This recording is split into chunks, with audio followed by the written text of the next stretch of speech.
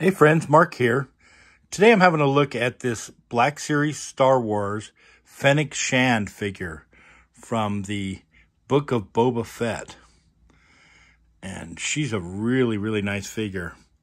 Most people uh, uh, on the collecting community agree that she's like one of the best figures of the year.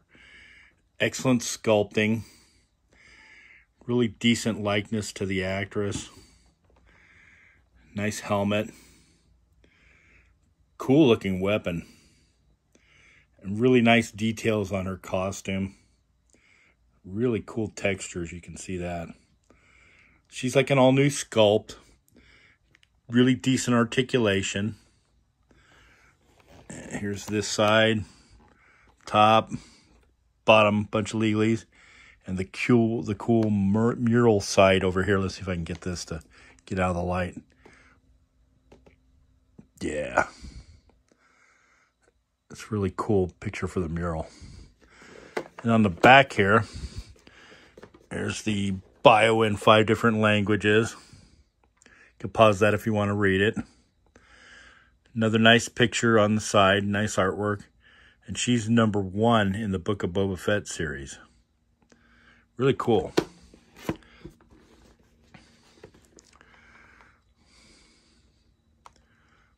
Yeah, I think it's a really decent likeness to the actress, actually. She's got really cool looking hair. It's all braided up. And despite even her having a ponytail, I think it's kind of flexible, so it kind of moves out of the way. You can give her different looks with her head by tilting it and moving it around. Really nice details.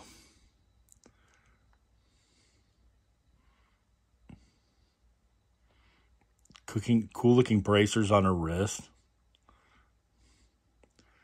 She doesn't come with much, just the just the rifle here, but it's it's a pretty cool sculpt. Nice looking scope.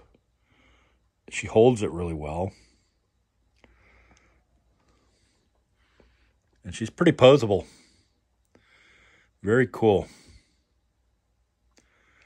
Well, that's about it for this look at Fennec Shand. If you like the uh, the video, please give it a thumbs up. It really helps the channel out. It goes a long way and um, you know, comment if you like, share, and subscribe to the channel if you if you feel like it. I appreciate it. All right, guys. Thanks for checking it out again. Have a good day.